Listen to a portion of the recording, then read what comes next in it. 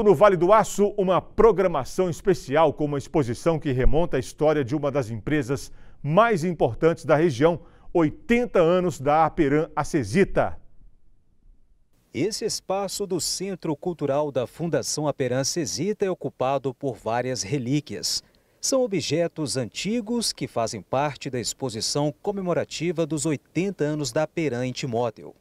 A coordenadora de projetos da Fundação conta que a mostra é composta por diversos itens emprestados pela comunidade. Surgiu a ideia de fazer uma exposição onde as pessoas pudessem trazer alguns objetos que eles têm em casa que remetessem à história da empresa. Então, a primeira iniciativa foi essa: vamos fazer uma exposição que remeta a essa história dessas oito décadas da empresa aqui na nossa região. Os objetos que compõem a exposição remetem à história da Perante Motel.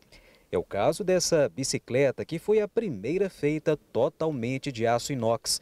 Também há uniformes diversos, antigos e atuais de funcionários da empresa, além de várias fotografias e documentos da companhia. A gente recebeu é, peças valiosas, né? como, por exemplo, o primeiro, um dos primeiros uniformes, né? esse não é o primeiro, porque quando foi feito mesmo era bordado à mão, ainda não tinha a parte de serigrafia, mas logo depois já foi esse com a logo amarela, que é um uniforme bem antigo, que estava preservado, novinho, e ele trouxe para a gente poder estar tá expondo, né? E, e outros também que nós recebemos.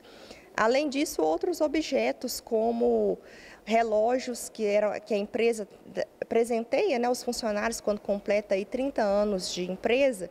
Então a gente tem desde a época da Cesita até o que é utilizado hoje, que já é da Peran, canetas comemorativas, placas, medalhas é, e além de fotografias. Olha só, essas cadeiras aqui fazem parte do antigo Cine Marabá. Essa aqui é uma réplica que faz parte da exposição que conta um pouco sobre a história da Aperam.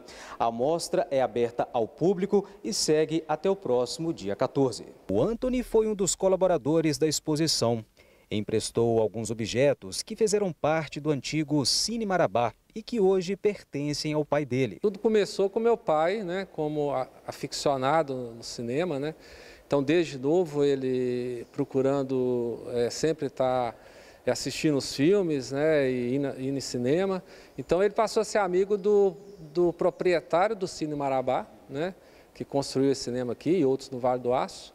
Então, essa amizade e a, a, a vontade do meu pai de, estar tá sempre ligado ao cinema fez com que o doutor Venceslau passasse vários itens para ele do cinema, para ele conservar, né, eh, guardar e, e manter essa memória aí do, do cinema aqui em Timóteo. Né? A exposição que conta a história dos 80 anos da Peram é aberta ao público e funciona de segunda a sexta-feira. Visitação em grupo é importante fazer o agendamento, né? até porque às vezes a gente tem algum evento, alguma ação acontecendo. Então é importante fazer agendamento.